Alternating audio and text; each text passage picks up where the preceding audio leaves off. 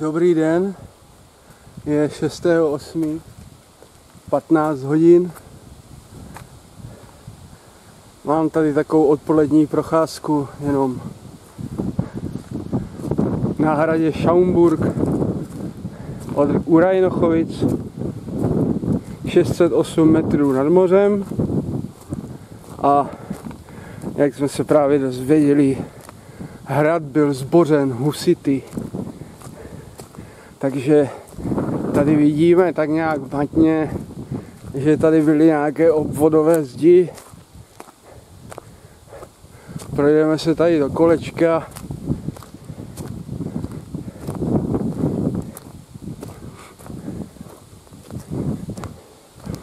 Dole pod ním je hrad Zubříč, ten je takový malinký, ale bylo tam, byla tam nějaká parta nadšenců, kteří tam skládají šutry dohromady pomocí malty a kolečka a vyrábějí tam nějaký zdi.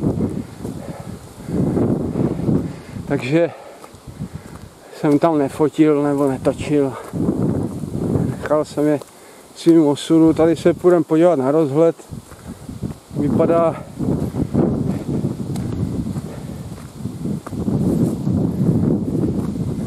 jak to tady vypadá.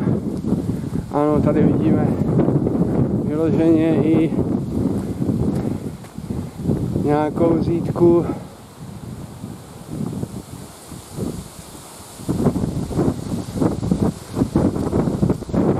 Tady sídlo táborníků.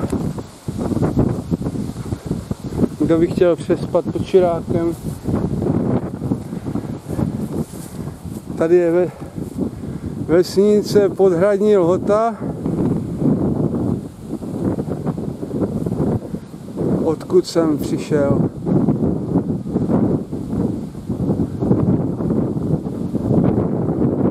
A tam přes kopec, někde tam, jak jede to bílé auto, nevím, jestli to trefím zase vůbec, tak je trať 300 z Ostravy do Kojetína, nebo teď už to je, myslím, jenom z Kojetína do Valmezu, nevím. Dále je to 300, co si, 23, nevím, dřív to byla Ostrava Kojetí. Prostě tady ta kozí štreka přes osíčko, kde jezdíme, tam někde v pozadí vidím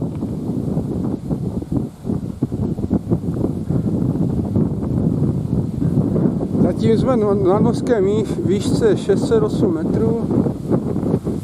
To toho hodlám změnit dojdeme až na nějakých, tuším, 860 na vrchol, kde je rozhled na, na keltském javorníku, kde jsem teda ještě nebyl, takže proto jenom taková odpolední procházka 15 kilometrů do Bystřice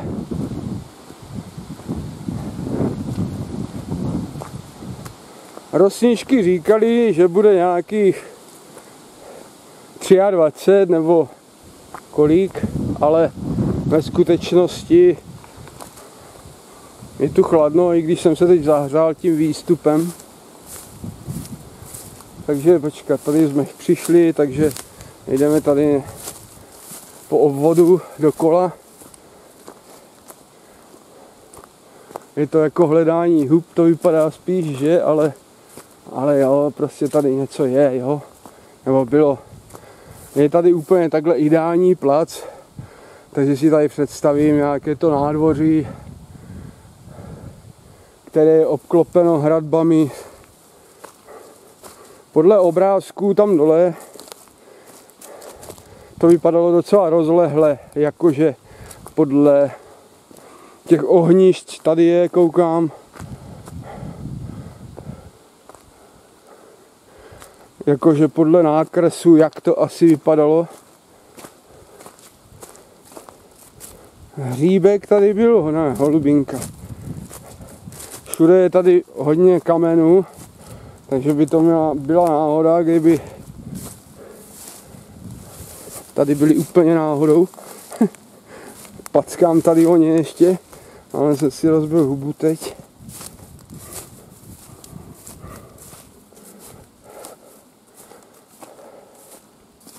No to je bohužel všechno, co z milého hradu zbylo.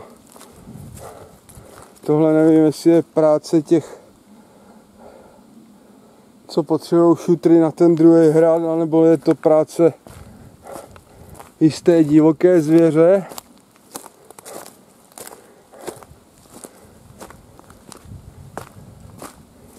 Ale ohniště tu raz, dva, tři, čtyři už jsem viděl.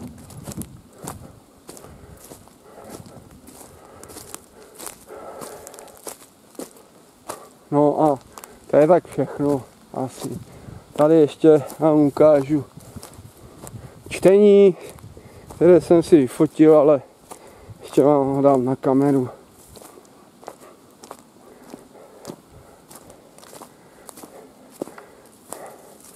Takže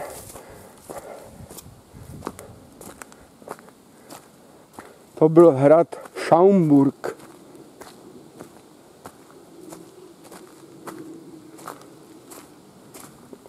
Teď mi tady něco žere do nohy, že se musím uhra- ohradit. Tamhle je takový hrostomilý kostelík.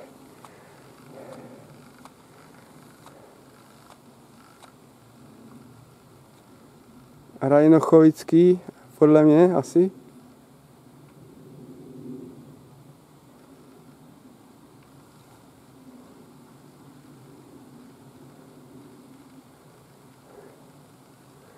Budu si muset koupit novou kameru, to blbne to zoomování od té doby, co spadla, tak je to takový divný. Sice to jakože to natáčí, ale už to není, co to bývalo, se mi zdá. Doufám, že si teď sednu. V jedné ruce mám foťák, v druhé mám kameru. A jdu tady z takového hrbu. No, takže tady už jsme teda slezli na nějakých 600 metrů rozcestí a tady si teda můžeme přečíst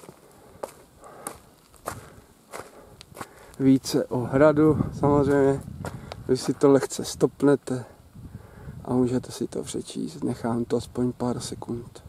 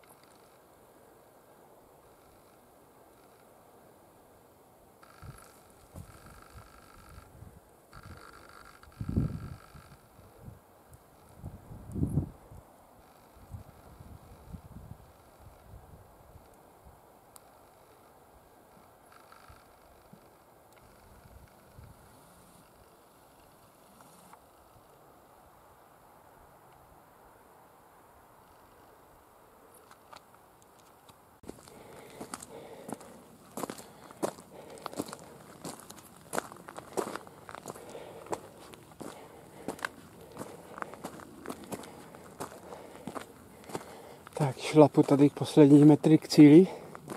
Ale to, co vidíte, ještě není rozhledna. To je jenom věž, na které jsou vysílače mobilního operátora. A rozhledna bude ještě kousek dál. Nebo k cíli. Je to praktický cíl cesty. Ta druhá polovina už se bude jmenovat jakože návrat. Takže když úplný cíl teda bude Bystřici pod Hostýnem, kam chci dojít na vlak. Je mi to jedno za jak dlouho, protože tam jede i poslední, který je v někdy 23, takže mi to burt.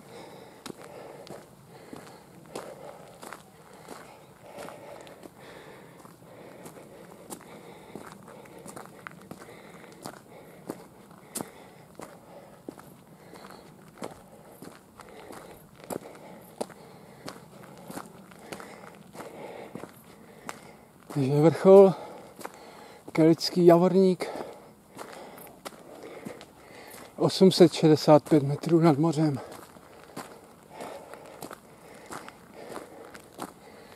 Cesta byla totálně zdevastovaná klasicky lesákama a těžbou kůrovce. Musel jsem se navigovat pomocí GPSky v mobilu, protože kdybych šel opravdu podle značek, tak jsem dvakrát se šel úplně z cesty. Takže tady máme tady máme rozhlednu.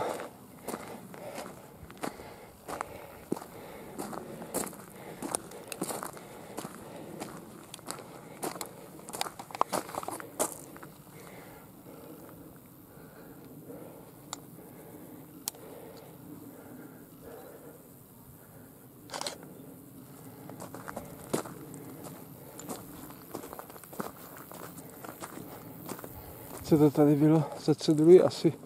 Jo, takhle se můžeme podívat po slunku, ať se nedíváme proti slunku.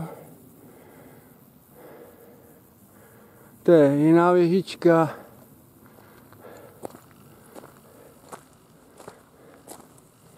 Jo, ano, chráněné území geodetického bodu, ano.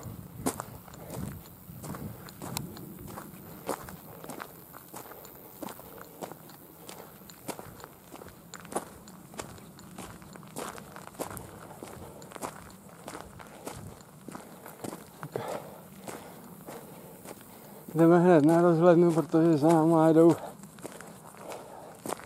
s dětskama, než to přijde.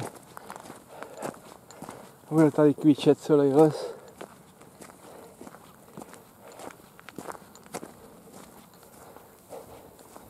Snad jsem jim utekl dostatečně.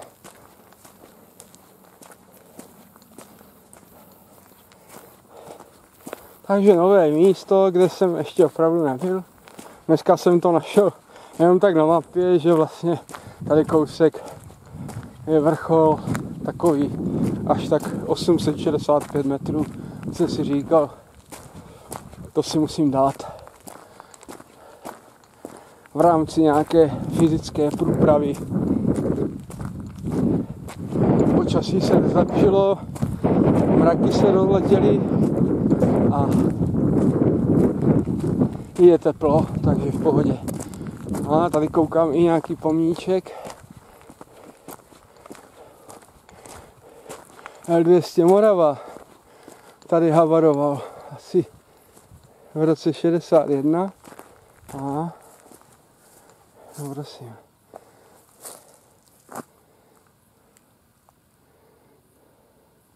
Je, tady už je jeden za náma, no, takže to asi jsem asi počkám chvíli, dám si svačinu.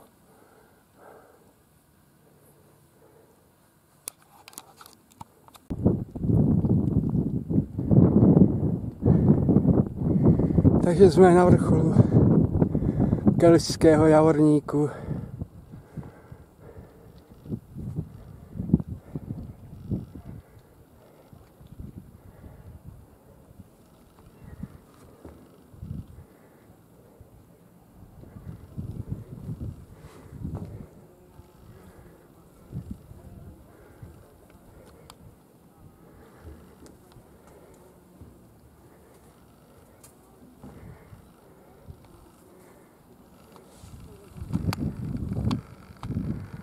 Tamhle to všichni znáte. To je svatý hostín.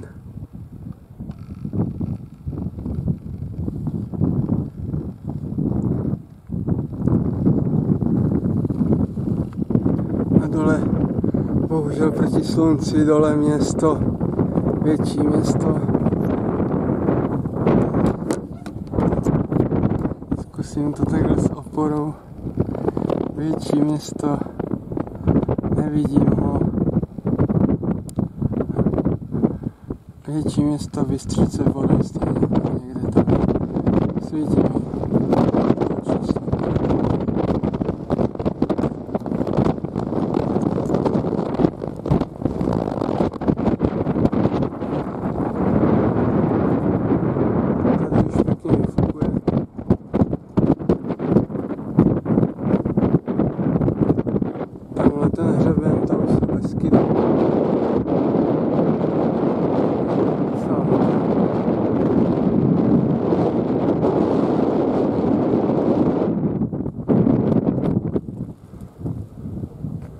i dokonce Radhošť, jo. Ale Vysou by se dalo víc poznat, to je tam je taková ale Radhošť ty poznám těžko. Ústevný. Tam ten dlouhý hřebet někde, no.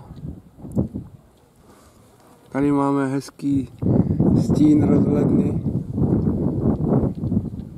na které stojíme tam to jde všecko sem, takže než to dojde sem, tak máme čas. Kapacita rozhledny je 10 lidí, takže když se sem navalí 11, tak rozhledna spadne.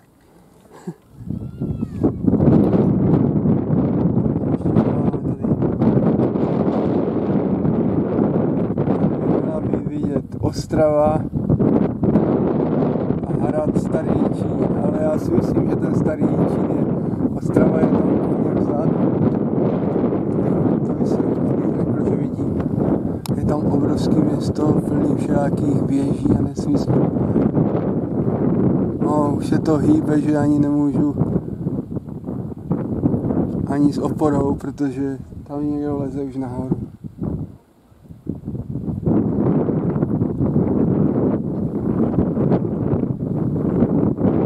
Osíčko, ano.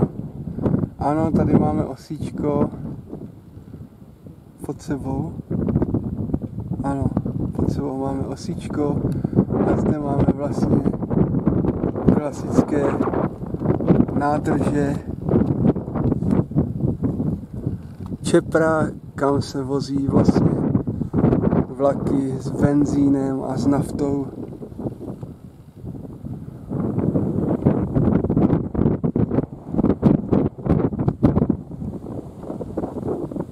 tady dole je, tam je vidět nádraží.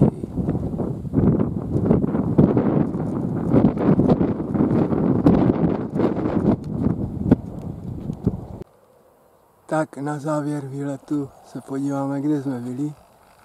Tam někde ve vesmíru.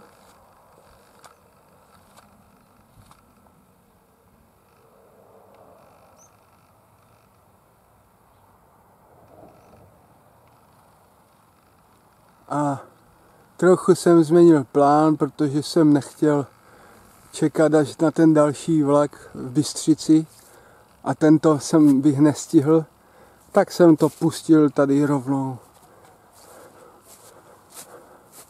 do osíčka